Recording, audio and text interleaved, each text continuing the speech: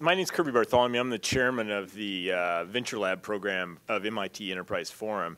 This is our first program for the 2015-2016 uh, season, and we've got, uh, some of you have known, this we have two programs. One's the Enterprise Forum program, which is typically focuses more on technology, and this program is the Venture Lab program, where it's focused more on educating and uh, providing uh, entrepreneurs with the information they need to get companies started. Uh, MIT Enterprise Forum is sponsored by the MIT Technology Review, so we are loosely associated with the Massachusetts Institute of Technology, and the mission of the Enterprise Forum worldwide is to, uh, what's the inform, connect, coach technology entrepreneurs and enabling them to rapidly transform ideas into world-changing companies. So that's the official, official mission statement of the uh, Enterprise Forum. For tonight, we've got uh, like an all-star cast up here of folks from the startup community, and we're going to uh, spend some time here talking about, we're going to start out with a little bit of uh, back and forth. Starting out here on the first slide, we've got Adam Schuster, who's going to be the moderator. He's standing up there in the bright lights. Next to him is Sanjay Puri from Nine Mile Labs, Rebecca Lovell from the city of Seattle, uh, Elizabeth Scallon from University of Washington, and on the end we've got Hanan Levy, who's Levy, Lavi, who's brand new in town, has a great foreign uh, background, came from Israel. He's with Microsoft. So I'm going to let them talk. They're going to talk, introduce themselves and their programs here in a little bit later, but I thought I'd just kind of lay it out for you so you know who these people on this, perched on the stools up here. But uh, to get it started, uh, were we going to start with Rebecca is going to come up and talk a little bit, I think, about kind of the. She's Rebecca has this great overview of the startup community. Most of you are technology entrepreneurs, and so it should not be any surprise that we have in Seattle, in Greater Seattle, an incredibly vibrant ecosystem, and there's so many ways to measure it. One of the things that we certainly track as a city is really the economic impact of new business. And for those of you who are in startup, I can tell you that it's new business. So those that were started within the last five years, much more so than small business or even big business that are the net job creators in our economy. So you are really driving forward the growth and innovation um, in our region. Last year in 2014, we had a wildly record breaking year in terms of investment dollars that flowed into Seattle startups. And combining both the IT and the life sciences sectors, sort of a, a couple of gems of our innovation economy, we pulled in $1.5 billion. So about 20, amazing, about 20 life science deals, uh, 130 39 in IT, about equally matched in terms of funding. But this is just one small indicator of the level of activity that really has been kind of on the rise in the last five years. 2008, not such a good year, but we've absolutely been on the recovery road since then. Just to give you a little context for how we're doing. And we have had an absolute explosion of resources available to entrepreneurs. You know, I'm going to maybe do more of a little Vanna White over here. And can you hear me okay? Yeah? Is that all right? Take the mic.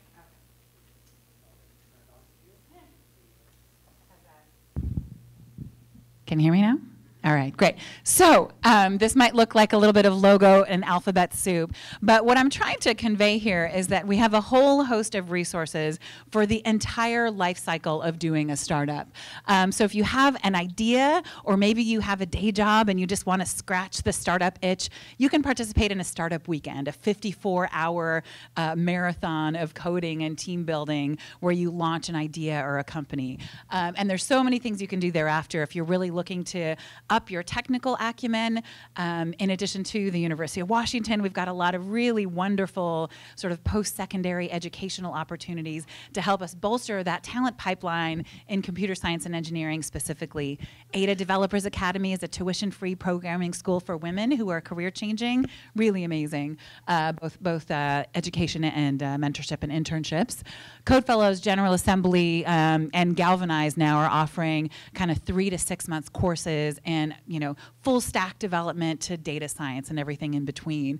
Um, code.org, this is, I just think it's, it's one of sort of Seattle's um, you know, shining stars. They're headquartered here and their mission is to allow everyone across the globe, kids and adults aged 7 to 70, to learn how to code. And so they actually pay teachers a stipend to learn how to deliver computer science curriculum in every school imaginable. And they're from Seattle. We've got so much innovation that was born here. Um, really exciting stuff. Um, um, as you're sort of navigating the ecosystem, and we're certainly going to talk about that as a, as a panel and, and with you um, as part of this conversation, there's some really great events where you can network, you can kind of take some educational programming. MIT Enterprise Forum, certainly you're here tonight. Who's um, here for the first time? First MIT? Awesome. Right on. Great. So you've already found this resource. Washington Technology uh, Industry Association is really kind of statewide. They do a lot of networking and education events and sort of represent the tech community in Olympia. Student R&D. I didn't even know you were going to be here, and I put you on the slide. Yeah, and maybe you can talk a little bit more about this later. But it's really about kind of engaging high school students in entrepreneurship and technology. Really amazing work in the community. Technology Alliance in a similar space as WTIA.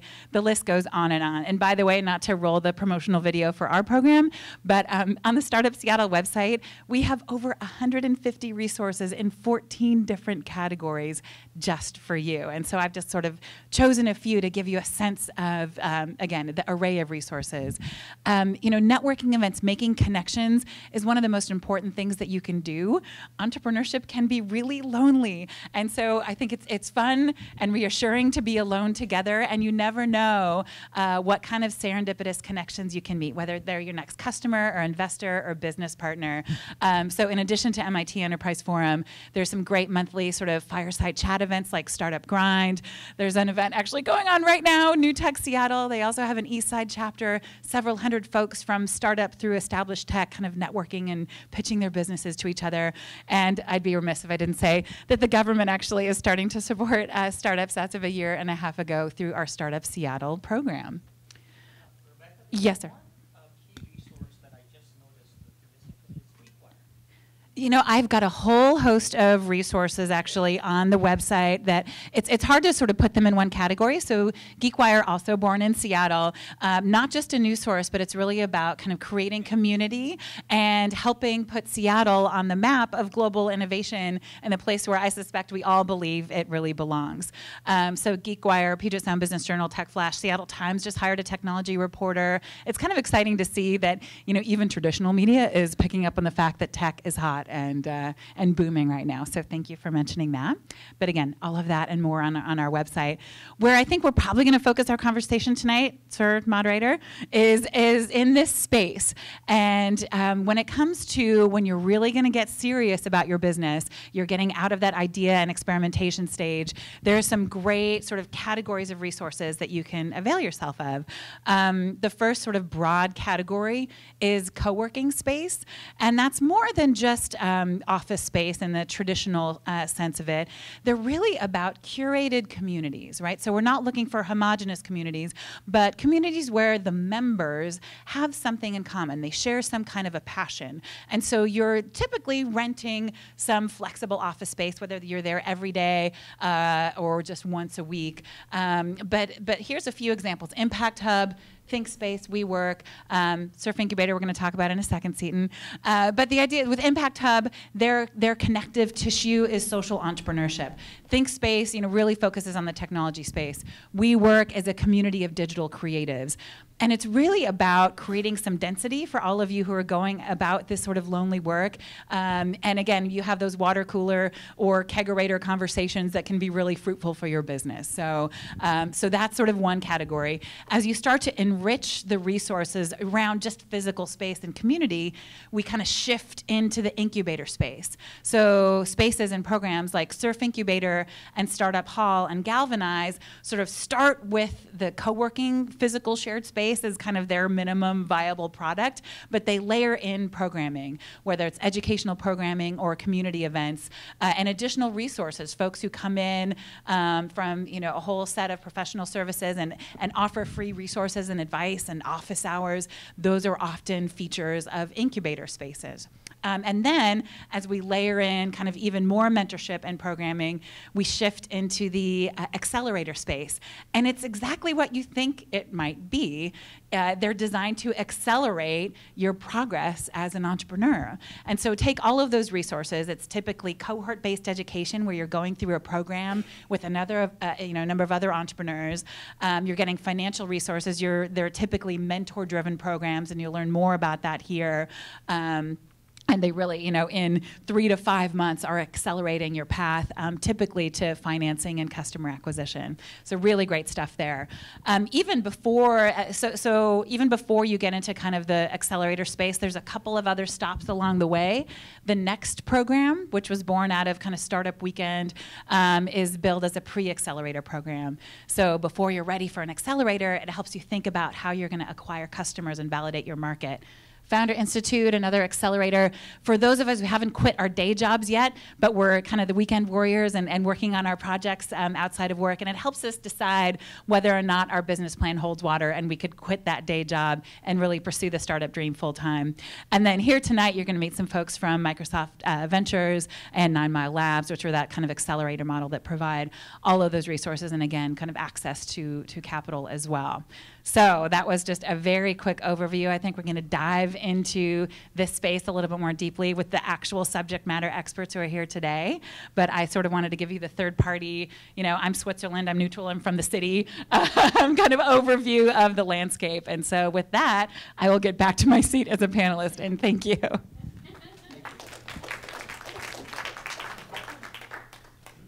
Wow, that was a great introduction. Uh, it, it, sounds like a, a, lot of hands went up when uh, a lot of people here are involved in startups. Uh, some people here are involved in some of the organizations that we saw on, on the board. How many people here uh, just saw uh, or just learned about a new organization or a new program that they, they weren't, weren't aware of before? Okay, so a decent amount. Yeah, I mean, one of the things that's great about Seattle is the, the plethora of, of different resources that there are out there, and that's what we're here to explore tonight. So. Um, thank you for that great introduction. I think that uh, to, to just give a brief overview of the format tonight, we're going to um, have about uh, 45 minutes of general panel discussion. We're going to open it up to questions and answers for about 30 minutes, and then there'll be a short uh, open networking portion at the end of it. So uh, you can get to meet some of the panelists afterwards. Um, let's start by actually having, um, getting a little bit more uh, of background on each of our panelists. So if you guys don't mind going down the line and just describing um, your role at the organization and maybe um, a little bit about what drew you into working with startups in the first place. Sure. Um, I can start. Is this working? Okay, um, so I'm Sanjay Puri. I'm one of the three co-founders uh, and partners at Nine Mile Labs. Um, just about my background right now, and we'll describe Nine Mile Labs later. Mm -hmm. Is that okay? No, no, please, please uh, give, okay. give a little overview. So uh, quickly about my background, um, the first part of my career was primarily as a technologist, as an engineer. I ran engineering teams as part of large companies, as part of consulting teams. Um, I ran an engineering team at Microsoft, uh, I'm sorry, at Oracle. Um, after that stint as an engineering manager, um, I, I started a company um, then decided to go to business school and went off to the dark side. Uh, joined Microsoft right after that. I spent about five years there, um, and um, uh, uh, you know learned a tremendous amount in marketing at Microsoft. I really believe that my, Microsoft is one of the best marketing uh, organizations in the world. But that aside, um, uh, then decided that I needed to move to the startup uh, world and joined a little startup based out of Bellevue which uh, quickly got acquired about a couple of times uh, by first by Opsware and then by HP. Uh, and here I was uh, at another large firm. Uh, spent about a painful year uh, at HP and then decided to join a, a, healthcare software startup. Spent about three years there running marketing for them. Um, and at that point said, okay, we need to do something. and as, as I started exploring a bunch of things, got together with the two co-founders that I have right now, and uh, what occurred to us was that we had very complementary skills. We really wanted to work together. We had very different skills. Um, one of my co-founders is a hardcore hustler. He's a sales guy, uh, phenomenal um, uh, entrepreneur. He's a serial entrepreneur, has never worked in a large company. The second co-founder is again very similar in the sense that he's done like five startups, two exits, uh, never worked in a large company um, but a technical guy. The other guy is a sales guy, and I'm like product and marketing guy. And we found this this real interesting synergy uh, uh, with respect to our skills. And as we started exploring opportunities, we found that startups needed those skills. Startup need startups wanted to get the benefit of the kinds of skills we had. and we try to help startups in in few different ways, in one-off ways, and what became clear to us that we had to figure out a scalable way of doing it. And clearly, startups are short on cash; they cannot pay us. So, what is the currency they have? Turns out it's equity. And as we started exploring different business models around how we can help startups, uh, the accelerator model just turned out to be a fabulous way of building a scalable way of helping helping companies. And the way accelerators work, and that brings to our business model currently, is um, Nine Mile Labs is an enterprise B2B um, accelerator, which means that we focus on companies that generate their revenue from other businesses. We don't do consumer startups. Um, uh, we run a four month program, and as part of that program, we invest up to $105,000 in companies, and I'll describe how we uh, make that investment. We invest up to $105,000. We provide the companies workspace, and we currently lease space from Surf Incubator. And Seaton back there has been a has been a huge supporter and a great uh, partner in this uh, two and a half year journey so far. Um, so we um, provide them workspace. We have a very structured curriculum, the kind of curriculum that uh, most startups typically are blind to. As individuals as an, and as professionals, what we tend to do is we continue to work on the things that we enjoy and love, and then the things that we don't like or we are not good at, we try to procrastinate on those. And what we try and do is run the structured curriculum that allows for these blind spots to go away. We push the companies extremely hard, especially in areas that we know that they're going to be deficient at. And a lot of the companies that we see, a lot of the startups, typically need help on marketing, biz dev, sales. Those are the typical disciplines that they need help on, and others too. Um, and then uh, we run the curriculum, and we have a deep mentorship model. What that implies is every startup gets three mentors. Each mentor um, has committed to spend at least an hour a week with the, with the companies. And what that allows for is deep, engaged mentoring rather than the flyby mentoring model that you'll see, uh, that, that some of us see in a lot of places. Anyway, um, and then we uh, introduce the companies to investors. Um, we fo focus very hard on getting customer traction, which means rapid and exponential customer traction. That's what is important for a startup. And then finally, we have a demo day. There's about 500 to 600 people in a large venue such as Washington State Convention Center or Showbox SoDo. Um, and the idea is to celebrate the launch of these companies into the community. So that's what Nine Mile Labs does. Uh, a quick word about the, uh, uh, the um, about the funding. We um, the, as startups enter into the program, there's about nine to 10 startups typically uh, in every batch of uh, four months. Every startup receives $35,000. And then um, we also, uh, as they enter the program for the first two, within the first two to three weeks, we define metrics that will allow them to get the next two tranches of $35,000 each. And as they achieve those metrics, we make those investments, and of course, the startups have the option to, um, to accept or not accept. So that was a very long drawn description of what I did and what Nine Mile Labs does. And now I'll hand it off to Rebecca. Sure. Fantastic. Rebecca, can you um, describe a little bit about um, your, your brand new role and, uh, and what that means? Sure. Um, yes, I can. So, as of uh, eight days ago, I was the first startup advocate for the city of Seattle. As of seven days ago, I'm the first director of entrepreneurship and industry. Um, I'm relatively new to government. This is about an 18 month journey for me, um, but I've been in the space for about 10 years. So, went to grad school to kind of do some career changing, which many of us do. Went to UW, by the way. I should say right now and disclose, I love each of these equally. I'm a, I'm a Husky for grad school, and I taught there for seven years, a class on venture capital investing.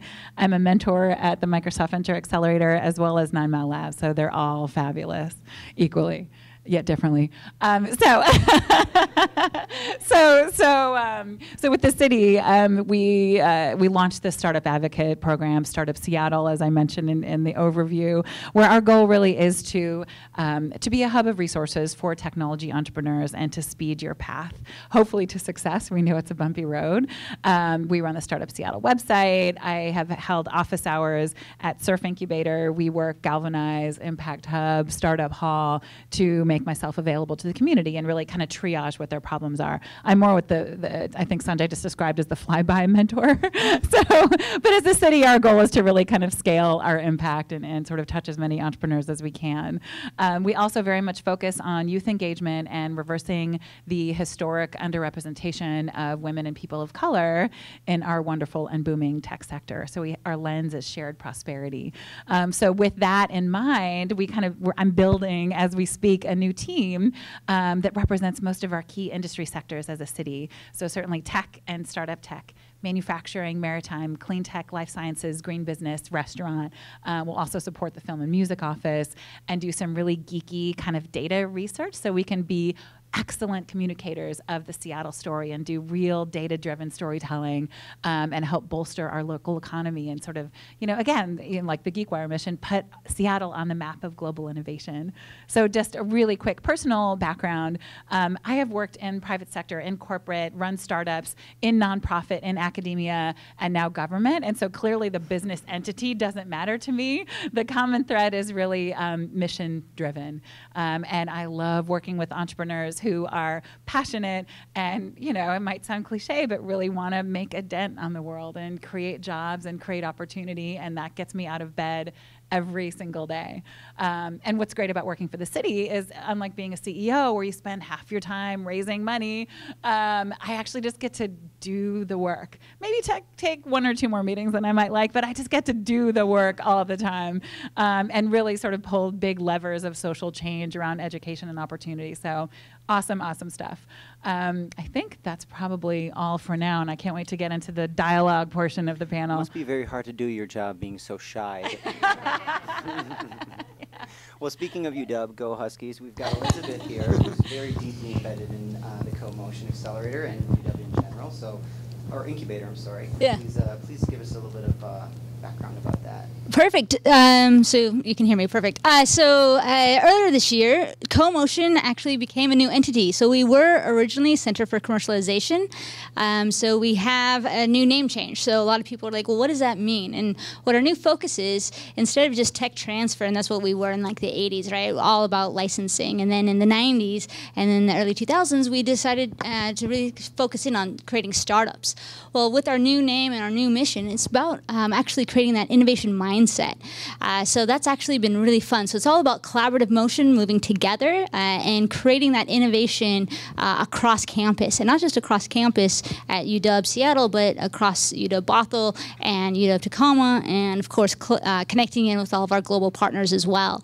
So here at the incubator, we do a lot of really fun events. Uh, we do programming where we bring in um, some entrepreneurs and and connect them into different resources and have a workshop, and, uh, and then we also do CEO roundtables.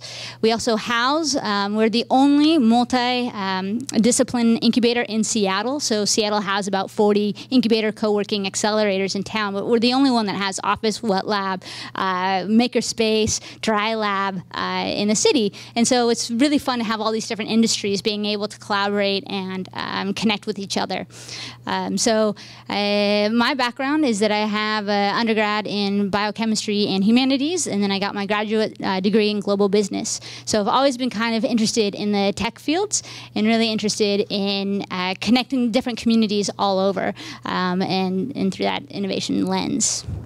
I just want to brag for you for a second so you don't have to. So, in case you missed it, Reuters just um, rated the University of Washington as number four in terms of global innovation, and CoMotion was hugely featured in that decision. So, congratulations. And with this new administration, yeah, celebrate and you know the advent of CoMotion, we really have seen the sort of walled garden of the university start to dissolve, and a really purposeful effort to connect um, the researchers, students, professors with entrepreneurs and investors and community. And so you see a real permeable membrane between the university and the community, and it's awesome. Yeah. Fun. Yeah, the UW has so many fantastic resources. It's great to see that you guys are able to pull those together and leverage them so well.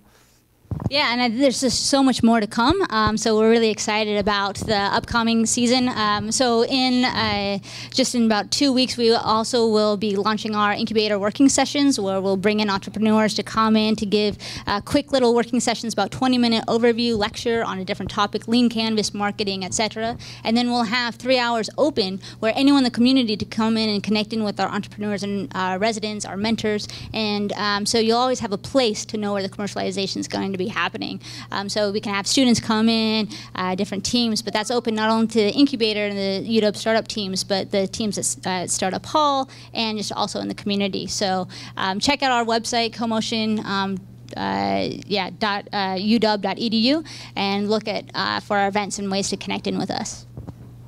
Thank you.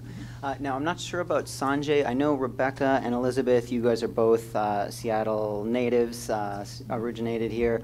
Uh, Hanan is definitely not. He comes from, by way of Tel Aviv, and maybe you can talk to us a little bit about Microsoft Ventures and then what made you um, want to make that very significant move. Yeah, definitely. So I'll, I'll start with uh, a short background about myself. Uh, I started to code at the age of 10. Um, I was a geek uh, before it was uh, really in, in, a fashion to be a geek.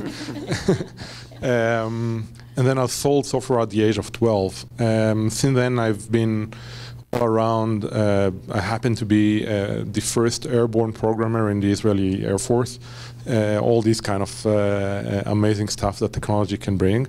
Um, and uh, eventually I studied computer science and business administration in the Hebrew University, Jerusalem. Uh, finished it after two years, and then on my third year, when I wanted to go to an accelerated PhD, uh, my professor said, uh, "Why do you need this nonsense? Uh, go and open a startup with me. Uh, we'll do a lot of fun and money." And you know, it was the dot com kind of times. So I decided, okay, let's do it. Um, and um, it was quite an interesting time. If you remember, that was uh, around uh, 98, so it was the bubble time. Um, I worked seven days a week, um, 15 hours a day for seven months, and we raised $10 million as seed round. Um, which is un unheard of today. Um, totally we raised $60 million. We had um, a nice company of 140 people with offices here in the US. And then we blew up together with the with the bubble. So uh, yeah, so uh, I, I, learned uh, a little bit about uh, about that. Uh, eventually, by the way, the company was uh, was acquired. we haven't seen anything from that because the investors took all that money, but that's okay. You know, we, we learned we learned a lot. Um, then I moved to a company called Mercury Interactive. I don't know if you know that company. Uh, I joined it when it was a one million dollar revenue company. Uh, in three and a half years, it was a you know a pretty sizable company. In three and a half years, uh, we grew up to be a one billion dollar company, and then we were acquired by HP. And after one and a half painful years in HP, I left as well. So you remember we were there at the same time when Sunny, Sunny, right. yeah, yeah. Yeah, so that's the reason we're here. to know each other. HP refugees. Yeah, the HP refugees, yeah. So after one and a half years in HP, um, I quit and opened another startup um, around kid safety on the web. Uh, we had some great technology. We raised some money. Um, and uh, after four years, um, I decided with my partner to uh, to stop the company with the money in the bank. We uh, we thought it's not going anywhere, so we wanted to give the money back to the investors. They were really mad on us, uh, really, you know. Uh, you know it. Uh, for the entrepreneurs, you know what investors can do for you, can do to you, uh, you know, in a hard, tough board meetings. but eventually we quit. They put more money in the company. They brought new CEO, new CDO. Um, and I'm still a shareholder there. Uh, fortunately, I'm I'm not in the board, just shareholder, so I don't have the headache. I now can be, you know, the one that, that complains. Uh, um, so I've been in this position. Um, and about that time, um, someone from Microsoft in Tel Aviv called me and told me, "Okay, we're opening an accelerator uh, in April." That was in January when I quit my last startup Uh, and you have the right background. You have an entrepreneurial background. You have a technology background, which is the DNA of Microsoft. You've been in a small companies, big companies. Uh, why won't you join us? And I, with the memories of HP, I said, no more. I, I can't go into a corporate again. Uh, but you know, uh, he convinced me to to to come to the interview, and I learned it's going to be a startup within a company, um, because I learned we're going to be the first one in the world. So there was nothing really to learn from other than uh, web sources, you know, YC and, and TechStars. Um, and it looked nice to me, but um, so they lined up all the interviews in one day. Uh, at the end of that day, they said, "Okay, you're in." And I said, uh, thank you very much. But uh, uh, after these six months with my board of directors of my previous startup, I promised my family that we're going to take a few months vacation in New Zealand. Uh, so thanks again. I'll be happy to meet you in March after my vacation in New Zealand. And they said, uh, my boss said, uh, we're not going to wait for you. And I said, I'm going to New Zealand. That's your decision if you're going to wait for me or not. Um, so I went to New Zealand, uh, an amazing trip. Uh, if you haven't been there, go there. really. Uh, a life changing trip. I went back. Uh, I called the day I landed. I called my um, my boss and said, ask him if it's still relevant. He said, uh, we extended an offer to someone, but if you're really serious, uh, we're willing to pull it back, give it to you. Uh, we really liked you. Uh, so the day after I went to an interview, he saw I'm a serious guy. Uh, and you know the rest is history. So that happened three and a half years ago. I joined Microsoft in March 2012, uh, actually 25th of March 2012, and uh, 22nd of April. There was a date in the calendar, yeah, that we had to start the accelerator in there. So we had really virtually no time to to prepare um, um, for those who've been in Microsoft, I, I, was told that everyone in Seattle is either before Microsoft, after Microsoft, or during Microsoft. So, uh, so for those who've been in Microsoft, there is a NEO, new employee orientation, uh, that you have to take once you join a company. Uh, so I somehow skipped that because I needed like every minute there. Uh, so the Neo in here, when I joined Redmond, was the first one for me after three and a half years in a company. Um, I joined a company. Uh, it was an exciting journey. I thought I'm, I'm not going to stay there for more than two years. You know, establishing a startup, getting to know the corporate, and then leaving because it's going to be probably like HP. Apparently, apparently I stayed uh, and I took a larger commitment, uh, relocating over here with my family. Um, uh, over here, uh, it's a, it's another adventure for us. Uh, I sold it to my to my wife and to my kids. That's the New. I, I told them that Seattle area is the New Zealand of the U.S. So, which is really true. You know, I've been here for a lot of times, and it's so green and so nice and so rainy, uh, like like New Zealand. So. Um, so they came over here. My wife quit her job. She's a physician in Israel. She can't, uh, you know, it's hard for her to get the licenses here. Uh, but we're all happy for the last two months. Um, I hope we'll be happy, uh, you know, more than just two months. But so far, so good. Um, Slightly different climate here in Seattle than, than yeah, Israel. yeah, yeah. Um, anyway, um, I'm running the Microsoft Ventures Accelerator in here. We have, after the Tel Aviv uh, one succeeded, we've cloned the model to India and China and then to Europe, to Berlin, London, and Paris. Uh, and recently, a year ago, we have uh, decided to start the accelerator in here. Um, we've had already two programs running in here, um, and now we're getting prepared for the for the third one that will start in uh, February. Um, the program is a four-month program in which we take 10 to 15 companies to work with us. Um, our acceptance rate is around two to three percent. So we had Last time 500 companies apply and uh, we got in only 14.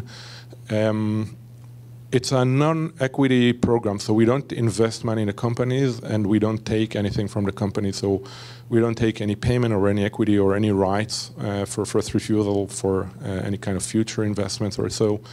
Uh, we take all companies in the software uh, domain. So we're not into biotech because we we don't believe we can really help companies in, in biotech and you know heavy hardware. But anything with software, um, we can help with. Um, there is a bias of companies applying to our program to be B2B rather than anything else, um, but we accept any any kind of company. For the next batch, uh, will be around machine learning, so everything around machine learning uh, is relevant. Um, program is heavily mentored, um, as you heard um, from my colleagues here. Um, I think the number one value that we bring to the entrepreneurs and to the startups is our connections to the market. Um, Microsoft is very much connected to any kind of enterprise you may think about. Um, we have a lot of uh, executive briefings in the campus, so we go there and talk about innovation, and we bring startups with us to be exposed to these uh, uh, to these executives, and then we create these kind of connections. Uh, we have Partners Day and we have Demo Day to which we bring partners. So we make all these kind of events for mentors, for ecosystem players, for partners and customers, uh, eventually for the startups. And uh, this morning I met uh, uh, Brad, the one of the founders of Ignition, and he asked me what happens if there is a contradiction or a, a conflict of interest between uh, your interest in the startups and your interest in the company. For example, if you want to help startups uh, recruit people, recruit engineers, probably Microsoft would like to recruit them. So in my position, I'm always for the startups. Uh, and when I know I do my job right, is when I get complaints for, from CVPs in the company that I'm not doing my job right. Okay, uh, because I expect a Microsoft employee to act differently. So when startups know that and realize that, and they do it pretty quickly, uh, they put a lot of faith in our help, and uh, uh eventually um, we can help them with that. Uh, one last thing, uh, we give the startups um, the software uh, for free, uh, the cloud and uh, all the, the other software of Microsoft as part of the BizSpark uh, programs. Uh, we partner with all the rest of the accelerators, so we're good partners with Nine Mile Labs and many other with Techstars, with YC, with you know many, many, many accelerators all around the country and the world. Uh, so we don't see ourselves as competitors to any one of them, but as partners. Um, we just increase the value of startups. We do not take anything and we increase the value. So actually Sanjay and I already talked about uh, deal flow sharing and all this kind of stuff that we do with anyone else. Um, um, we're totally into partnership and synergies and, and I think that's the most important thing to understand about our program. That was actually one of the questions that I wanted to highlight. Um, you know, Sanjay, you already mentioned that you work with Surf. There's a very there's a very good synergy there. Hanan, it sounds like you don't really view. I mean, would the rest of the panel agree that um, typically most accelerators, incubators, co-working spaces, they're not very competitive. They, that they actually can be very good collaborative partners. Yeah, absolutely. I mean, for us, we partner with Cambia Grove. Um, I know we are also working with Microsoft Ventures, uh, Nine Mile Labs. I mean, we definitely look at how can we together be more effective and have a higher impact, and how can we serve our community better. That's the entrepreneurs, the mentors, the um, the entire group, the, our partnership. So definitely looking for that collaboration, those bridges, and ways to have a higher impact um, in all the different ways. So yeah, and I think that is part of the magic of the Seattle ecosystem. The the Seattle nice reputation is a real thing. I mean, I really do believe there is an authentic undercurrent of collegiality. And frankly, as we get critical mass, you know, whether it's 35 co-working spaces or nine angel groups or 10 venture funds, you know, and, and all the sort of incubators and accelerators, um, that attracts, you know, talent to Seattle. We all, you know, the rising tide raises all ships. That's, I think, a real phenomenon. The other thing, too, is that each one of these programs has its own niche in the universe, whether it's carving out an industry space, like Nine Mile Labs is uniquely positioned as the enterprise accelerator, accelerator focusing on B2B. Um, Techstars has evolved, but I, I, think that you know it can be either sort of sector specific or stage specific. Founder Institute is almost kind of a pre-qualifier as well as the next program, and after you pass through those, you may be a great candidate for some of these other accelerators. So I think it makes a lot of sense for them to compare notes and say, "Gosh, they weren't ready for our program, but yours would be great," or "Wow, they weren't fit. A, they weren't a fit for Nine Mile, but sounds great, you know, for machine learning, what have you." So so again, I think we all win when we work together, not to be too kumbaya, but it's a real thing. yeah. That's great. Just, uh, just one more thing. Uh, just to be clear, we will compete for specific startups. Um, uh, and uh, I think uh, from, uh, from our perspective, you know, we will compete with Techstars, and, and, and that is completely natural. However, the perspective to take there is that as long as you believe in the opportunity in the Seattle area, and we are huge believers in that, the amount of talent we have, the amount of technology skills, both on the technology side as well as the business side, um, there is the more the more entrepreneurs we see in the ecosystem, the more people we see coming out of the woodwork and wanting to start companies, whether they go to Nine Mile Labs or TechStars or Microsoft Ventures. I don't think there's an issue. I think back to Rebecca's point, a rising tide lifts all, and you have to take that perspective. Compete hard, collaborate beautifully, and we do collaborate together. But uh, at the end of the day, um, as long as we are all supporting startups and, and trying to help entrepreneurs, the rising tide will lift all. Certain accelerators uh, put investment into the companies, some don't. Uh, but how many accelerators uh, are really focused? Is it very typical for accelerators to be focused with a, a, large demo day and investors at the end of the tunnel, or do some programs exist that are really just more about accelerating the, or you know fine tuning the business itself, and it's it's a little bit detached from the actual you know end result of investors? From from where I'm sitting as a totally objective observer, um, I, I, do think that you know the nature of enterprise business is different. Where I, I guess the best form of fundraising with an enterprise uh, opportunity is customer revenue, right? So I've seen with Nine Mile Labs a unique and important and obsessive focus on customer development. So yes, investment is sort of part of the end goal, but I think that what they their sort of differentiator in the marketplace is this really obsessive focus on customer development. With with TechStars, you know, and I've been a mentor there now for going on year six.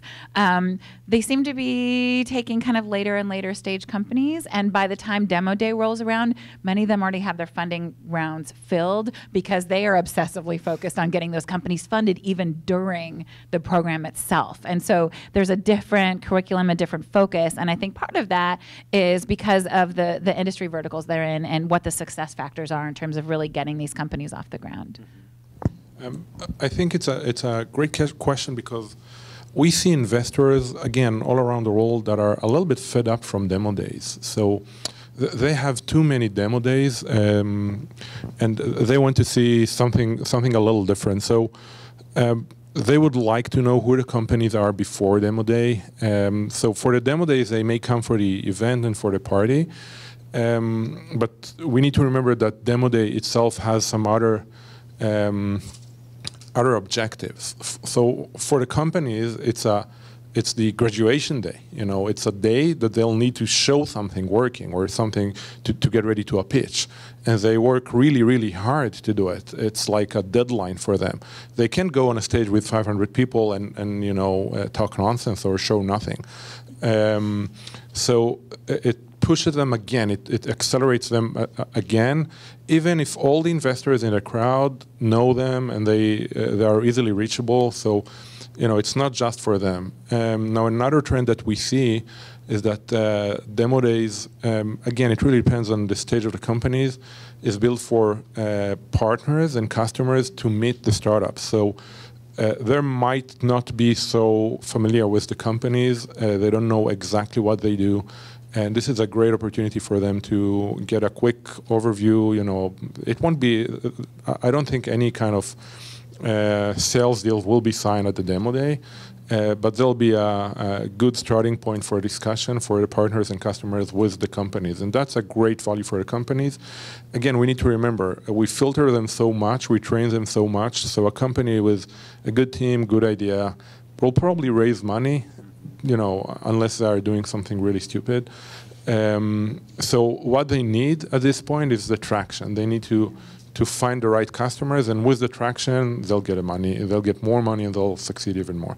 You know, one thing I think that's unique about the Microsoft uh, Accelerator program is, you know, let's face it, you have a global reach and pretty deep pockets, even though you're sort of the cowboy doing this entrepreneurial thing. Uh, Microsoft, the accelerator program, does an amazing job of taking their cohort literally around the world and, and leveraging their global network of partnerships. That's that's pretty unique, you know. So I, I think every accelerator accelerator program has its own flavor. Yeah. So uh, I'd like to mention three things. one, completely agree with Hanan. Um, Demo Day is a great forcing function to define a certain set of milestones and going out and achieving them. And when the milestone happens to be going out in front of a bunch of people, hundreds of people, and you know talking about your company, it helps you think ahead, project yourself ahead, and say, "This is where I want to be. This is what I want to present to an audience of 500, 600 people." That's one. Number two, um, we actually um, meet with the companies early on in the first two to three weeks, and we define together with them what their milestones need to be and what their uh, definition of success uh, has to be. For some, it's going to be funding. For others, it's going to be customer acquisition.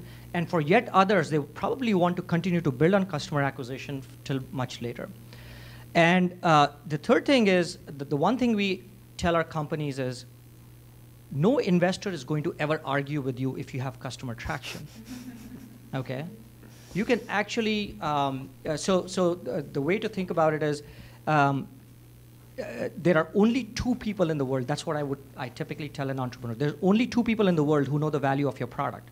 It's you, the entrepreneur, and your customer. Okay. If you go to an investor and tell them my product is very valuable, will they believe you? Of course not. They don't care. But if your customer is telling the investor and customers are actually voting with their feet and with their dollars, there's no arguments. You can actually win an argument with an investor if you have that customer traction and a rapidly growing customer base.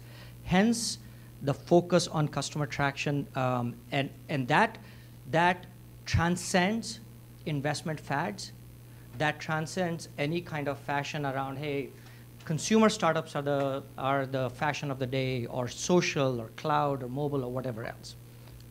That's all. That's great. Um, what are you know you, you, highlighted some of the differences already, but um, you know there's there's so many different types of programs. There's there's private versus corporate. There's government. Um, there's uh, you know industry specific. There's um, there's audience specific, like whether it's B two B or it's consumer facing. What are um, um, can you guys speak a little bit about what some of the advantages are to, or that you've seen? I know Microsoft uh, Ventures, for example, has done uh, some that are themed and some that are not. Um, you know, what, what has been your experience, or what are, what are some of the advantages to doing it one way versus leaving it, to, you know, more open to a wider field? Well, um, I'll just start on this one. Uh, for us, we're at the University of Washington, so all of our startups, about 80% of the startups that are in my incubator have a license with the University of Washington. Um, so we have allowed in uh, a company from Wazzu, uh, you know, so we are building bridges around uh, Washington, and then we also have another small incubator, private incubator that's also inside of uh, our incubator right now that just moved in. And so what we're looking at is um, most the the value proposition, if you will, for them being here at our incubator is the proximity to campus. So when you're having a company that's spun out from a lab, they can actually walk over to that lab and go talk to that professor. And you know where that's a five minute walk. It's not across town. It's not across state.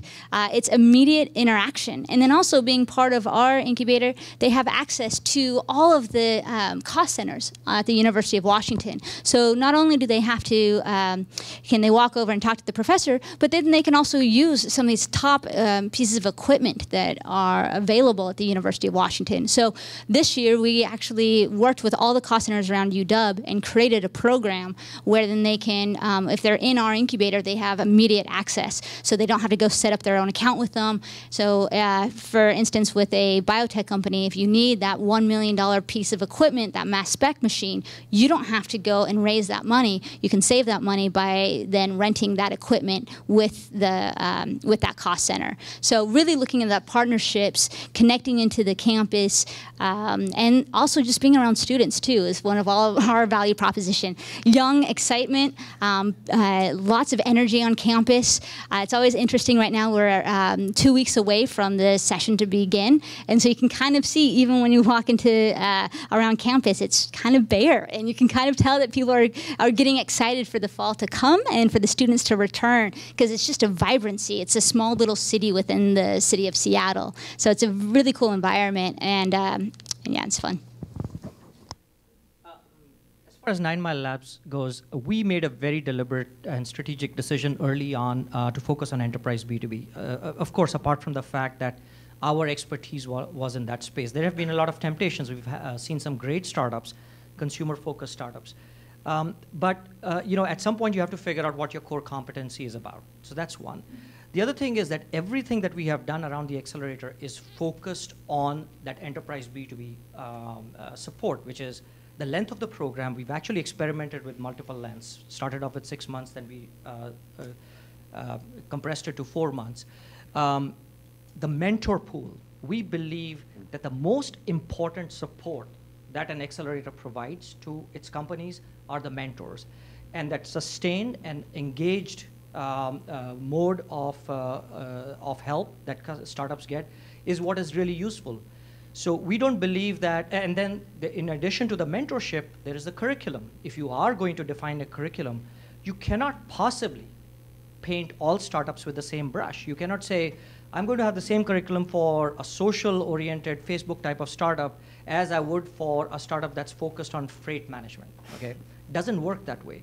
And so there was a very deliberate decision to focus. And then, you know, uh, and the last thing is, sales and marketing cycles for consumer startups are very different mm. from enterprise B2B uh, startups. And so if you truly understand those differences, it's hard to convince yourself that you know you really want the you want to have the same level of support.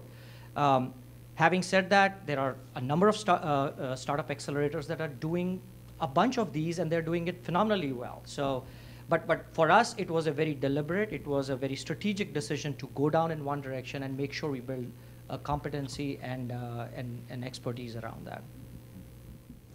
Yeah, so uh, just to complement on that, uh, as Rebecca mentioned, uh, we lever the uh, um, the fact that Microsoft is a global company uh, with all the accelerators, but obviously not just the accelerators, but the reach out of Microsoft all around the world to all these customers. Um, we try to tailor uh, our program to each one of the companies. So I would say like 50% of the program is is uh, the same for each one of the companies, for, for all the companies together, and uh, the second half is tailored to their stage and tailored to their domain. So um, we try to take companies more or less in the same stage because then it becomes really, really, really tough. Um, but as of domains, uh, we saw 70% of them B2B companies um, and around 30, 25% to 30% um, B2C. Um, our tendency to believe is that um, when there is a good team with some uh, cool technology, um, they don't really know where they are into. The, the, some of them do know, but uh, in the early, early stages, uh, the customer development process will take them into different directions. So even if a company starts B2B, they may end up finding a much bigger pain on the B2C and go into that direction and, and vice versa. So we may encounter this kind of uh, uh, of things, uh, and that's the reason we're um, we're taking all these kind of companies B2B and B2C again. Companies that apply to Microsoft Ventures Accelerator understand that Microsoft can help them more in the B2B space, and therefore we get more candidates and we select more companies that are in this uh, in this domain, but not necessarily.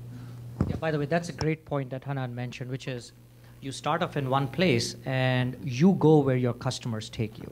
You don't you don't decide on something and then don't uh, uh, iterate or pivot based on what customers. So you you focus in on the feedback from customers, customer development, and that decides where you are going to end up.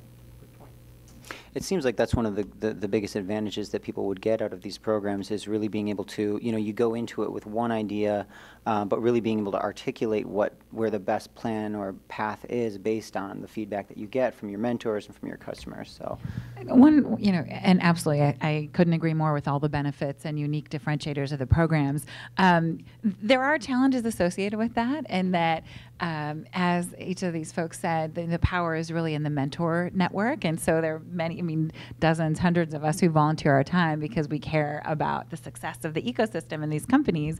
But the problem with that is that companies get mentor whiplash, right? And so, yes, you want to stay focused on your customer, but it's really easy, you know, to sort of chase the shiny object or whatever the last piece of advice was that you got from mentors. And so, you know, one of my sort of favorite phrases that I got from Techstars is they they tell us as mentors, you know, it's not your company. Like entrepreneurs, it's your company. Um, you're not a bad mentee if you don't take our advice. You know, your job as an entrepreneur is to listen to 100% of it and figure out which 95% to ignore, right? I mean, you still you have to follow that compass, uh, you know, and balance your your own convictions and what you're best at the world at and what your customers are telling you. And yes, I'd like to think that mentors were helpful along the way, but but you know, it's it's a big responsibility for the CEO and, and founding team. Yeah, and uh, that is exactly why we stay away from the, the flyby model of mentoring. Because what we believe is that mentors are valuable only when they have spent time with the startups on an ongoing basis to understand the business, to provide advice to the businesses, seeing how it works, and then go back again. So there's actually true engagement as opposed to the one-off or you know once a month or once in every two months kind of a meeting. So that's exactly one of the risks that we have attempted to mitigate by assigning three mentors to uh, a startup and continuing with that for four months. Yeah, actually, to, to comment on that, so uh, I totally agree. And actually, when we started, we had between three and five mentors assigned to a startup. And then we saw this uh, mentors whiplash that you mentioned, and we, we changed it. Uh, so we have now only one uh, or two mentors. Actually, it'll be mostly one mentor, which we call, actually, we divide the mentors into two categories. Um, the first category will be lead mentors or all hands mentors. These will be usually uh, serial entrepreneurs who's gone through the ups and downs of uh, building a startup. Uh, building a startup, and then there'll be expert mentors, which have some expertise in some specific domain. So the all hands mentor will go with the company from day one to the end, uh, he's like a family doctor, and, and when when you need some uh, expertise, he'll call some other mentor for a week, two or three, to help them in a specific domain, in marketing, in, in uh, pricing, in financing. I, I, I don't know, you know, in biz dev, and all this kind of stuff. And then the expert mentor will work for two or three weeks with the company, with a company, and then uh, he or she will be available to work with other companies for another two or three weeks per need. So we're kind of trying to play with that. Actually, we got the feedback. We're doing customer development on ourselves. So we see ourselves as a product, and then we talk with the startups to see what works and what doesn't work. Um, and for most of them, this change worked pretty nicely. Uh, but I must say that for some of them, um, uh, they want to hear more opinions before they can decide. So you know, it, it really varies. There is no good and bad it's uh, you know that's that's an experience and it can work that way or another. And then uh, at the University of Washington with CoMotion, since these uh, startups are coming from the University of Washington's labs, they've actually been around our team of entrepreneurs and residents since the very beginning when they disclosed their ideas. So as they're um, creating their ideas and going through the process, the startup process, they have been surrounded by uh, an entire environment of entrepreneurs and residents that are always available to them throughout their entire journey from the ideation stage uh, to the development stage all the way through through the um, to the growth stage. So again, we also agree that this flyby model, I think at times it's really helpful depending if there's an in, uh, area expert um, that you need, but to have that relationship building that can take even years. So one of the pleasures at the incubators that we don't have a time frame with the different clients. So we'll have the same cohort in for sometimes years, depending on what is their appropriate graduation rate. So um, one of our biotech companies is in there for three years right now, um, since basically the beginning of the incubator, and they're looking to spin out maybe in another uh, six months. Um, but so we actually get to have that long-term relationship, which actually helps foster them to that next phase. Um, so Incubators have a little bit different of a model than we've heard from the accelerators, where it can be years uh, relationship status rather than that six months, nine months um, time frame.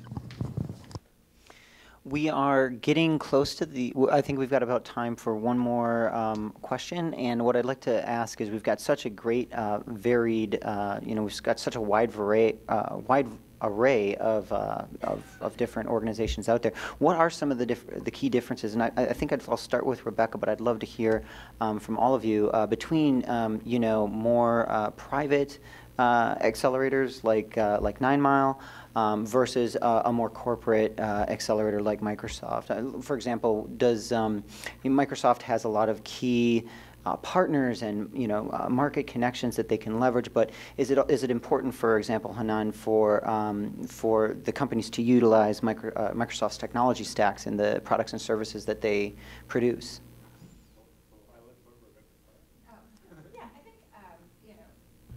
To recap, I sort of commented on some of the unique attributes of each of these programs, right? Whether it's domain focus, global reach, or investor traction, they all have their own flavors. The only thing I'll maybe chime on in now is that when it comes to sort of what is the role of, of government in this ecosystem, um, you know, we're actually pretty scrappy in, in terms of how we, we fund our own resources. And so um, we're not running incubators. We're not investing in co working spaces. We're not investing in companies. We leave that to the experts. So, um, what our goal is, is to sort of aggregate you know all the resources that are out there curate those that are appropriate for each of our audiences serve as a megaphone for, for them as, as much as we can. And ultimately the role of government i think in, in this space is to be the convener.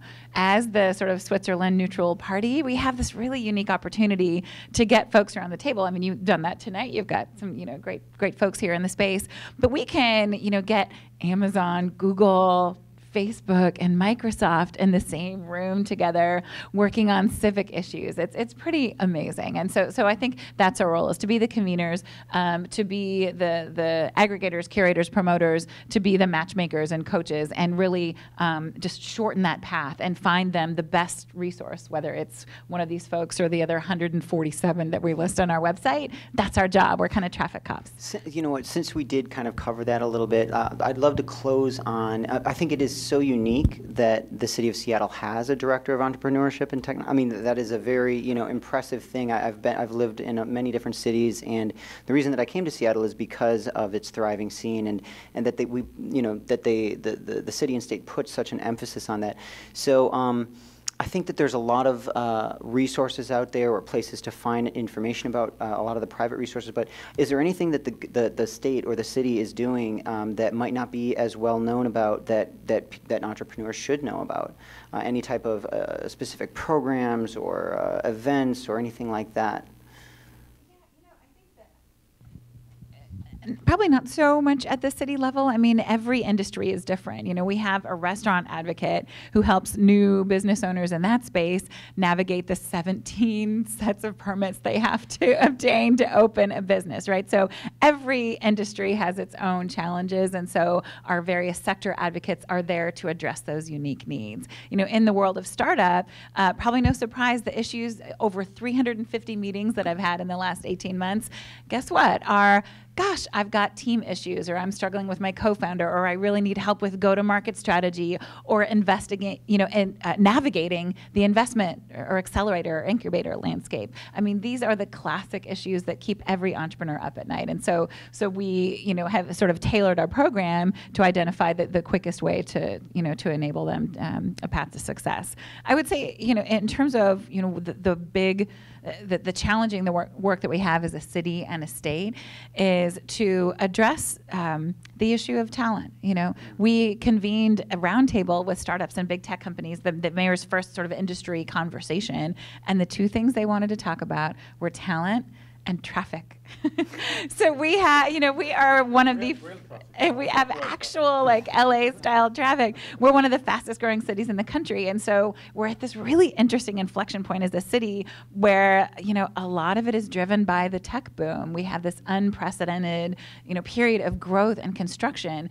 And there's, there's a downside to that. One um, is housing prices and transportation, and another is you know th- this disparity and that not everyone in the community has had equal access. And so, as a government, we need to figure out how to fix education. Like, how are we going to get computer science uh, education, you know, STEM, into the hands of every citizen across every public school across our city and state? We're not there yet, and until or unless we are um, giving access and opportunity to our own youth to participate in this, um, you know, we're gonna we're gonna bump into some trouble. That our, our growth will be throttled by a lack of talent. And how unique is it? Uh, compared to other cities for uh, for Seattle to be putting such an emphasis on this and have the you know carve out these type of roles and, and these focuses? Yeah, I mean the, the challenges of growth that we're facing are not unique. You know, we certainly look to San Francisco as being the hub of, of tech entrepreneurship, and they've been a role model, but they're also now a bit of a cautionary tale, right? So so we are we look around the country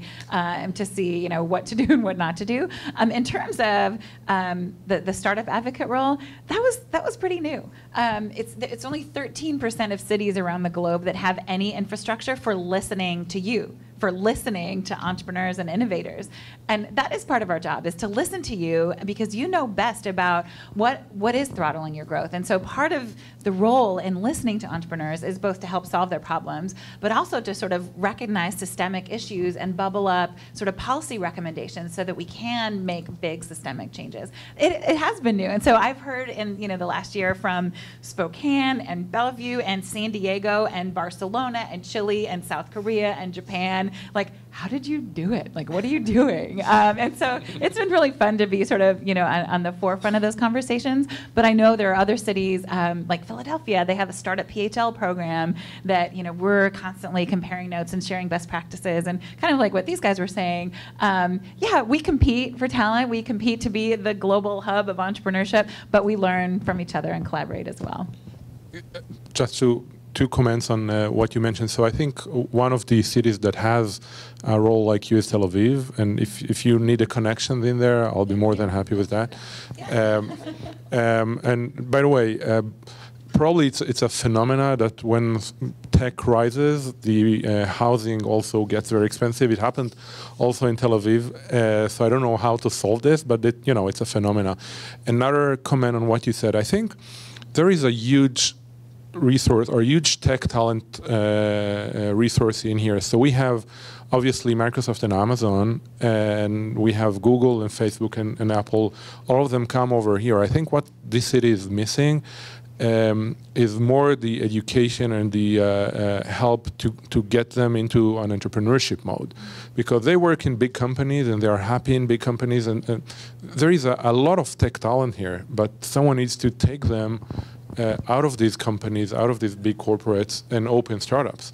And this doesn't happen here a lot. So and that's where Startup Hall came from. Well, and yeah. also with CoMotion exactly. too, is that I mean that is part of our mindset, uh, part of our mission is to really connect these tools and resources to create this innovative mindset, um, not just across campus and in the students and in our faculty, but across the city, uh, you know, across the region, um, across the state.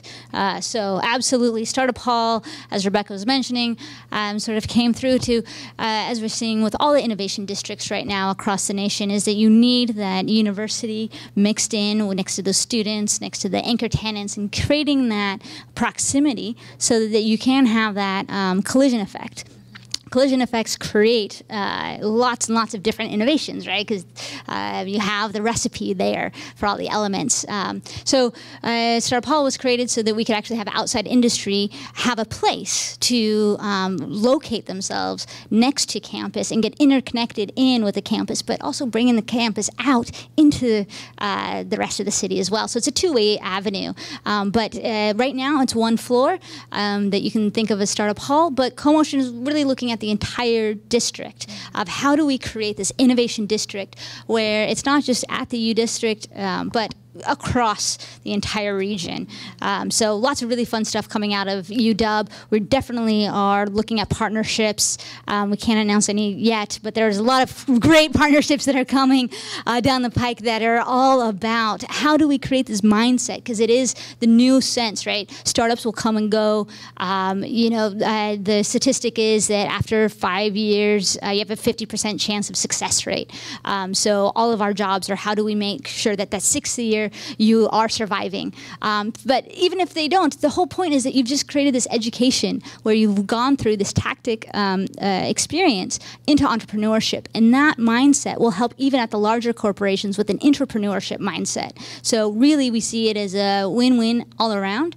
Um, and definitely um, seeing the impact there. So I think stay tuned for a lot of wonderful stuff that's coming out of University of Washington. Again, uh, as Rebecca was saying, we are uh, the leader uh, in the top leaders with MIT and Stanford and Harvard. So we're all in good company, all in fun partnerships uh, to being the most innovative universities in the globe. So uh, we're definitely working there and and uh, having an emphasis in there. Well, on the note, uh, like Rebecca said, we are, you know, the, the whole point here is to, to be listening to you guys, and we are, this event, everybody here is, is here for you. Um, so let's, let's start to turn it over to questions and answers. Uh, does anybody have, would anybody like to start? No. Just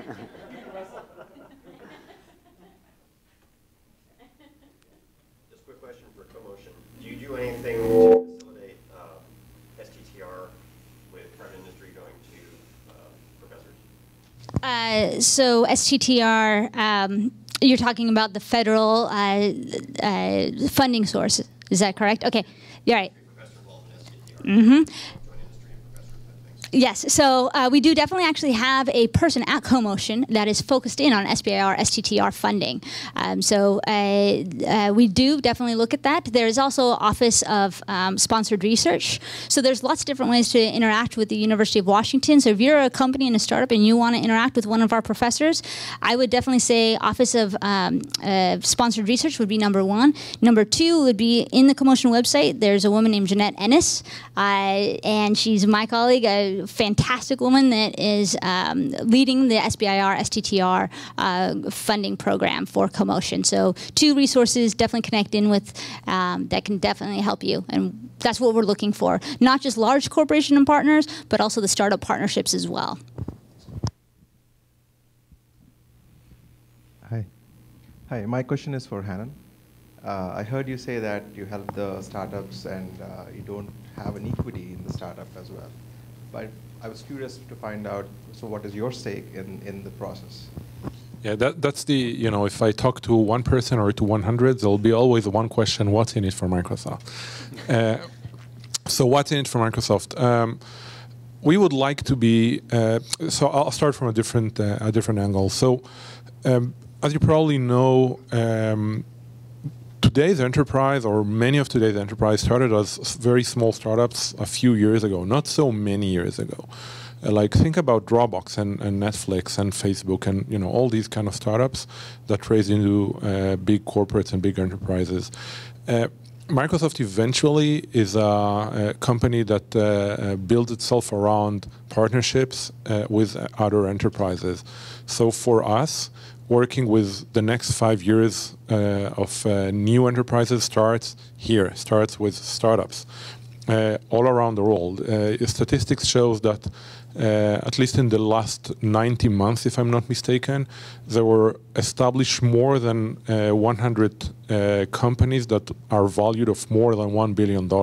So every month, more than one company or one startup around the world somewhere starting and will be a $1 billion company, you know, in, in a few years. So we would like to be part of this uh, um, of this partnership of this ecosystem, uh, and that's the reason we're uh, we're doing all of that. So we're not seeing or looking for immediate ROI. Uh, I like I like to say that on the P&L number, you know, on the P&L, I, I'm on the L side. Um, because we're not looking at to, to make any kind of immediate revenues, but eventually um, we're not doing that for philanthropic reasons uh, only. You know, we're very happy to give to the community and create ecosystems all around the world. But uh, for us, being a major player in these ecosystems of startups, will create our advocates out there that eventually, eventually will create for us more partnerships uh, and more companies to work with in the future that will appreciate what we do for them now. So that's the reason. First, uh, thank for the panel for the good talks. And um, uh, actually, at first, I wanted to ask a question that uh, you just asked, but it's good that uh, so it's good that um, Microsoft uh, might not take any equity, but look for like uh, collaboration later. Uh, so uh, my question is, um, uh, what? So could you talk more about the criteria to get into um, Microsoft Venture accelerators? Like uh, what's what's the stage of the company? Uh, like the size, the the the the, the, uh, the state of the product, of the company. So what's the criteria to get? Yeah, so, so I'll explain about the entire process. So um, out of the 500 companies that apply to the program, um, we're the application is on, on a website, of course, and uh, we'll go for every single one of them and read it, you know, down, bottom up and down, you know, from, we'll read it all. Uh, we won't miss uh, a word in there because we really want to make sure um, we're looking for the uh, uh, right companies. Now, um, out of them, uh, we will interview, most of the, interview, the initial interviews will be on a phone, Skype, um, with around uh, 200 of them, and then we go down the list with deeper interviews. Um, eventually, we'll shortlist 40 companies that we will invite for a full day. We call it jury day, uh, in which the companies will present uh, to us, but mostly to um, uh, non-Microsoft people like investors and mentors and experts in the industry. And then we will select out of these 40, we'll select the 10 to 15. Now the criteria. So we're looking for companies um, that have at least a proof of concept uh, in the product. Uh, they may have customers, but you know, not necessarily paying customers or not. Is you know, both are okay. Uh, we're looking for teams. Um, we usually we very hard. Um, it'll be very hard to get into our program with uh, one entrepreneur uh, doing everything on, on his own. Uh, so we're looking for teams that work together for at least quite a few months, so we can see the, the team is sticking together, gone, uh, has gone through ups and downs, um, because we know they'll go through ups and downs uh, during their life. So we need to know that they stick together. Uh, they need to strive or to look for uh, an idea that will bring them to be a, a big company. So we're looking to uh, into companies that solve big pains. Um, we used to say that we'll look into company, uh, one billion dollar companies. Uh, I'm not really sure because you know we have taken companies that are less than that, but again, um, we're looking for big uh, big pains being solved, um, and uh, um, eventually we would like to see the, the technology there uh, because we can bring a lot of help with the technology. Um, we would like to see some sort of technological rather than just a marketing kind of stuff. So um, companies like I don't know uh, Angry Birds would probably not qualify, although there are really successful ones. Uh, so we would have missed them, but you know we, we, wouldn't have taken them for these kind of reasons, and we are totally aware of that. That there'll be great companies out there that will not just will just not fit to what we're looking for, and that's okay. Um, so these are the uh, the criteria of uh, of selection. Again, it, it varies across locations. Uh, regarding funding, by the way, that I haven't mentioned, so we'll be looking for companies uh, that raised uh, around one to one and a half million dollars. Although we're not disqualifying companies that haven't raised any money, so it's always zero to um, zero to one and a half million dollars uh, in funding. Um, we really appreciate companies that are uh, working with no funding, bootstrapping for a long time and can show results without funding. We, we would definitely look at that one quick word of endorsement for the Microsoft Ventures Accelerator. If you have achieved product market fit, and all you're looking for is, I mean, the, the one thing that separates you from success is customer acquisition and customer traction. I don't think there's a better option. They're not they're giving you money, some money. They're actually not taking equity, and they're going to go introduce you to customers. How much better does it get? So I definitely. Thank, thanks. Yeah, absolutely. Highly recommend it. Any other questions?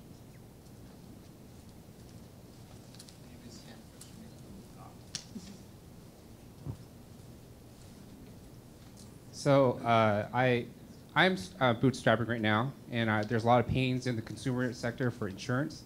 Uh, at, for, for myself and my two other uh, coworkers that are working in big companies, can you tell Rebecca and, and, Elizabeth? Can you tell me about resources that someone that doesn't want to go through Accelerator, uh, but I want I want to find like a mentor, perhaps, and what are the avenues I can do? Where can I go to find them?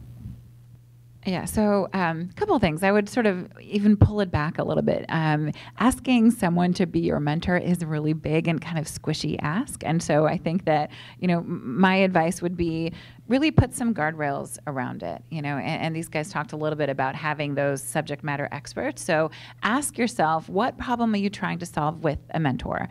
Is a mentor the right fit for you, or are you looking for, you know, to to have a vendor or service provider help you with your financials, or are you looking to actually have a long-term relationship with somebody who joins your advisory board and gets a piece of equity in your company? So just be, you know, fanatical about asking yourself what specific problem you're trying to solve for. Um, I've certainly, you know, personally outside of my city role, developed mentoring relationships with businesses over time. But it has always started with a cup of coffee where they ask for 20 minutes and ask a very specific question because that makes it really easy for me to say yes. Um, generally, if somebody says, "Will you be my mentor?" I say no because I don't want to disappoint them because I don't know what exactly they're looking for. So start with a small and specific ask would be my recommendation. I think if you're sort of wanting to keep your day job and moonlight, I would absolutely recommend.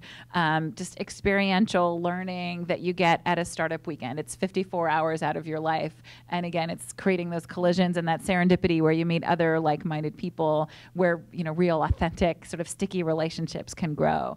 Um, programs, the pre accelerator like Next um, and even Founder Institute are um, designed to enable you to keep your day jobs and they just run evening programs. They're high commitment, you know, it will take over your life if you're sort of trying to juggle, uh, you know, both of these priorities but you know they have more formal um, mentorship programs that still enable you to, to keep that day job. Um, and one of my other uh, great avenues is, of course, the Startup Seattle website, and they have tons of events. Uh, so I would definitely say check out the events and the networking. Lots of meetup groups. Um, one of my favorite apps is the Weave app, um, where you can actually go through and figure out, um, and you can have specific asks that you find people who are in your discipline area or someone that you're wanting uh, an area that you need, and you can actually ask them a question of, hey, you know, can you meet for coffee? And you can start that relationship mentorship. Um, there's actually a lot of really good events around town about mentorship. Um, uh, Grace is in the audience, and we are part of the Women in Bio uh, board, and we've actually done panel discussions on how do you um, approach mentorship relationships. So I would actually do uh, a lot of education on what does that relationship look like, what are some expectations, how do you make those successful so you don't um, fatigue your mentor or a lot of these asks. Because if you ask someone uh, to be a mentor, that is a social um, capital that you've given up um, and you've uh, exchanged. So make sure that you respect that time. And, and there's some good um, best practices out there. So definitely, I'd say brush up on that, but connect in with all the different events around town and start getting to know people. And you'll start creating those relationships where people will want to help you solve your problems because they're so excited about them. Hello, uh, Brian Rivera here came all the way down from Auburn, Washington. Um, this question is for Rebecca. Uh, how many of the resources available for startups are in different languages other than English? And is that important? That's an excellent question. And I would say probably where we're strongest is in the restaurant um, sector. So we have um, our restaurant success portal that um, I believe we have translated into Spanish and Mandarin at this, or Chinese at, at this point um, online. Uh, that's a growth opportunity for us. Um, we do have um, we do have a couple of offices within the city that provide those services. So as needed, we can connect with them and bring translators with us to meetings. But I think there is a significant opportunity there. I would say, again, best practices is in the restaurant industry. But if you look at the demographics, the changing demographics of Seattle, um, we have, and we talked about this the other day, we uh, have one of the most diverse zip codes in the country, and that's zip code 98118, where 105 languages are spoken. We now have more East Africans living in Seattle than we do African Americans. So we have an, an, incredible influx of immigrants who have um, a disproportionately high rate of entrepreneurship. It is incumbent upon us to provide those services in multiple languages, and we're chipping away at it. So we don't have sort of dedicated resources per program, but um, as a city, um, we have uh, you know the Office of Immigrant Affairs and Office of Civil Rights and, and resources we can leverage as needed. But I'd love to see us continue to grow that. Great question. Thank you.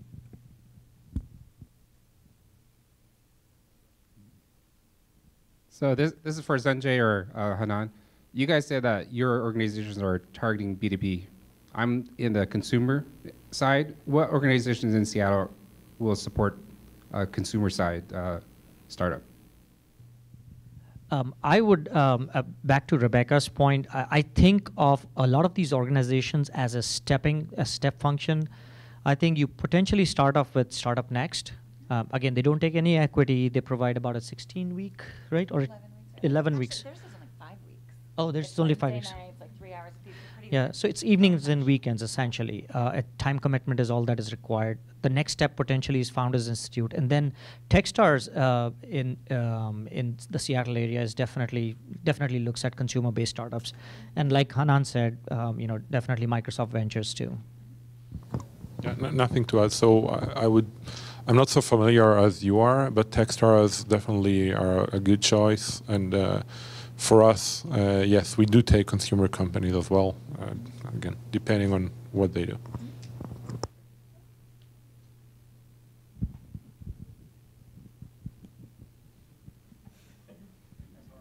I'll ask another one.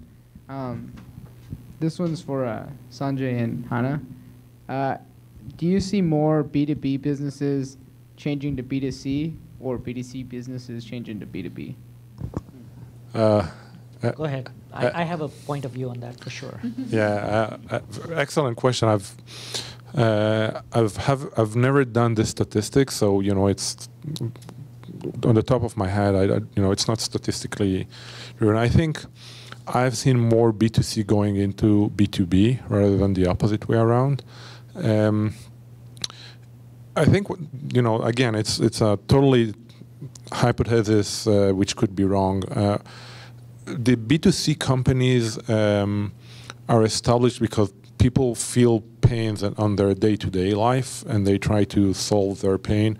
Uh, but eventually they find out that uh, there are either some other solutions or not a lot of people share their pain, their pain. But they and then what they do is they take their technology and try to find where it applies to other places, which which will usually be organizations because they know the day-to-day pains that they try to solve.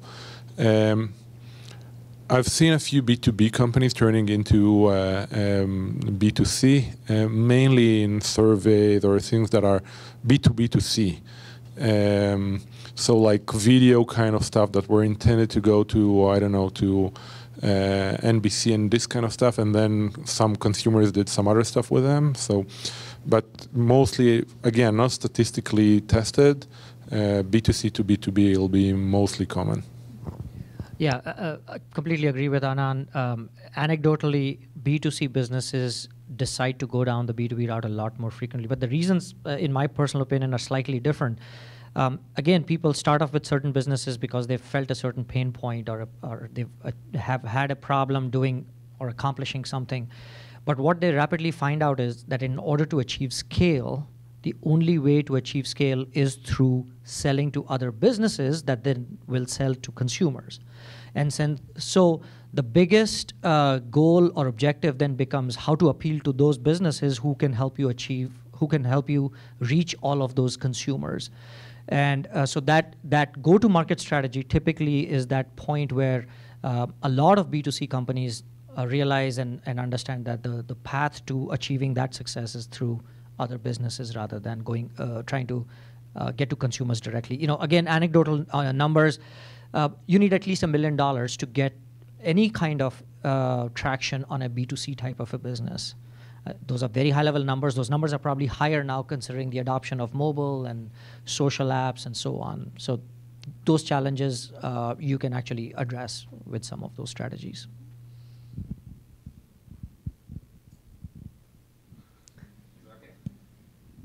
Sanjay, can you elaborate on that $1 million for a B2C? I mean, what are all the costs, could you say, that is required for that? Well, uh, uh, uh, uh, no, there's no elaboration. There's these are again a rule of thumb type of numbers that you encounter all the time. If you don't have that kind of money to actually reach your audience, um, you need to figure out how you're going to get there. Um, and the and the reason is there's just so much noise I mean, anybody, my 10 year old can actually create an app. He hasn't yet, but he's been coding for the last two and a half years. Sanjay, let, let, let me help you with that. Yeah. So, for the million dollar, probably you'll need 900K to go to market. Um, and, and even more than that, because eventually, if you're not going to create a viral effect, it will not, you know, you, even have $10 million, it won't help you. So, but in order to create a viral effect, again, for the B2C, you need a critical mass, and then it will pop up from there if it is, if it will, you know, at all. Uh, in order to create this critical mass, you'll need a lot of money to seed it. Uh, you need to seed it um, either in specific geographies or either in specific um, verticals or things like that. So you need to be really careful, and that costs a lot of money to, to do all these seedings. Consumers are very, very uh, tough to sell to. Um, and uh, you know, my last company was a B2C company. We turned it into a B2B company. Uh, and the B2C path was almost obvious that everyone wants this, but actually not a lot of people wanted it. So. And I think there's a perception among investors that in the consumer facing space, it's a bit of winner take all. And so that's why the customer acquisition is a really expensive drag race, right? So that's not to say that Seattle's without resources. You know, Mavron, absolutely a consumer facing venture firm, uh, you know, founded by folks coming out of startups, right? So that's their focus. Madrona certainly spends, you know, part of their time and money in the consumer space. And as you look across the angel groups, you know, you'll see that Alliance of Angels and Encino and Will will do some uh, consumer-facing investments. Founders Co-op is 100% information technology, but 80% of that is B2B, probably for the reasons that these folks are suggesting. If you're curious about sort of who funds what in the angel community, another MIT Forum event is called Meet the Angels, and for uh, the last five years, I've actually been tracking the stage and industry of companies that each of these nine organized angel groups are funding. So feel free to connect with me afterwards, and I'll be happy to shoot you uh, that list. Yeah. She's a man. In a very non-gender specific way. Thank you. If there aren't any other questions, I just wanted to, to throw something out. You know, uh, uh, something that I see a lot of entrepreneurs, especially first-time entrepreneurs, do is um, they get very guarded about their idea. Um, they uh, are very scared to share their idea with other people. They, um, you know, I think we all know once you once you've gone through a startup how uh, irrelevant confidentiality agreements can be. But you know, a lot of times people are hiding behind them. They're afraid to, you know, take their idea public, and I feel like that might. Uh, prevent some people from joining an accelerator or an incubator or any or even a co-working space where they're going to be exposing their idea to so many other people. It can be very daunting at first, but um, I, I, feel like maybe that is a, a false obstacle. Um, is there anything that you guys could speak to on that that might reassure people in this room who are thinking about taking an idea forward to just go for it? Yeah, so I'll just uh, start off on this one. So for incubators, I mean, I hear that um, concern a lot, uh, but what they've shown through a lot of different studies is that it's actually more likely that someone might steal your employee, the talent, than actually your ideas. Uh, so um, I've actually never seen at any co-working spaces someone stealing someone else's idea, um, but I have seen companies that um, uh, have tried to poach other people's employees. Definitely. So uh, that's a great question, by the way, and we get it all the time. And and here's here's the thinking. Um, the idea is valuable. Don't get me wrong, but really, what's valuable is is uh, the execution around the idea. Uh, if your idea was so simple to copy, then do you think that when you actually start going out and sharing your idea, somebody's not going to come around and spend about three months and a million dollars and just copy your idea and just overtake you? Of course they will. I mean, ideas honestly are cheap. It's execution that matters. That's what makes the difference between uh, winners and losers. It's not the original idea. I'll give you a billion dollar idea right now. Go cure cancer. Right? It's it's not the idea, it's the execution on that idea and how you're going to proceed towards achieving traction on it. That's what matters. So uh, I would definitely leave those reservations aside. Um, there, there is probably some very, very early stage where you want to keep it to yourself, but for the most part, you'll actually benefit in terms of getting employees, in terms of getting potential investors, in terms of getting advisors and mentors on board as you start uh, sharing your idea, your passion around it, and how far you are in terms of your thinking and your uh, and your and your strategy uh, around that idea.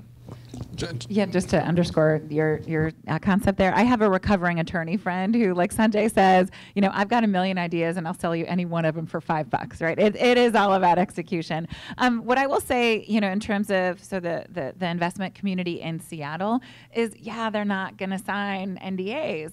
Um, they don't want to unwillingly sign a document where it turns out that they accidentally have violated the confidentiality of one of their portfolio companies. That's kind of the argument around it. But I was talking earlier about the Seattle Nice being a real thing and having this collegiality. I think part of the reason for that is that we are really kind of a big small town and that everybody is one degree of separation. So part of the Seattle nice is because we have built-in accountability. You don't get to be a jerk in this town, right? And so I think that um, there really is a lot of mutual respect. And I don't, I, I neither see entrepreneurs stealing and successfully executing other ideas, nor do I see investors, you know, engaging in that behavior.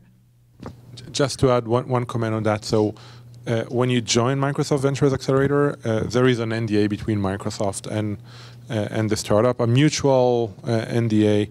Um, we just want to make sure that uh, um, no one even think that we're going to to take some ideas uh, from anyone. Um, actually, there are tons of ideas. Um, the execution is all. So I totally agree with that. Um, I think we have time for maybe one more question, if anybody has one. Yeah, I was going to say, why don't we uh, wrap it up here since we, we're, we're getting down, we're kind of petering out. And em- anybody wants to ask a question, come right up here to the front and ask them just face to face.